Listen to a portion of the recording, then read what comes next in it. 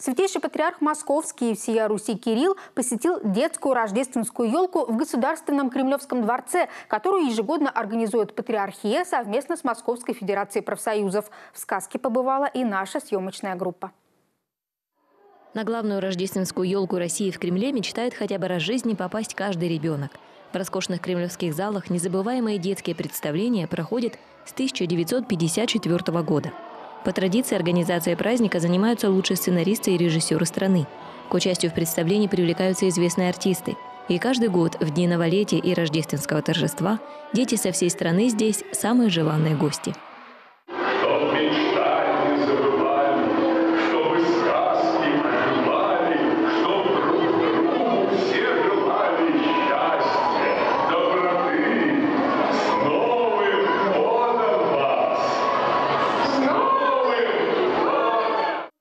Одно из детских представлений в Кремлевском дворце в дни празднования Рождества Христова ежегодно посещает святейший патриарх Кирилл.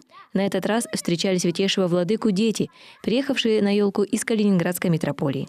Патриарх вручил им подарки, а затем вместе с детьми проследовал в зрительный зал. Гостями патриаршего рождественского праздника в этот день были учащиеся православной гимназии и лицеев, приходских воскресных школ, дети из многодетных семей, инвалиды и воспитанники церковных и советских детских домов и приютов. По традиции праздник начался с короткого представления – рождественской истории «Солдатский крестик». В нем приняли участие профессиональные артисты, представители школы традиционной культуры «Махоня», детской фольклорной студии «Наследие», фольклорного ансамбля «На золотом крыльце», театра студии «Непоседы».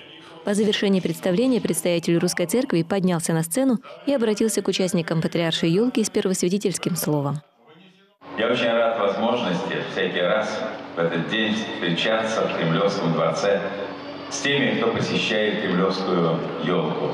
И напутствуя вас, я хотел бы еще и еще раз сказать, если мы живем с Богом, если мы живем с надеждой, если в нашем сердце любовь, то мы счастливые люди вот такого счастья, не отвлеченного, не абстрактного, а совершенно конкретного, я бы хотел пожелать всем вам.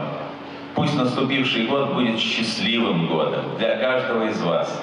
И для пап, и для мам, для бабушек, для дедушек, и, конечно, для наших дорогих детей.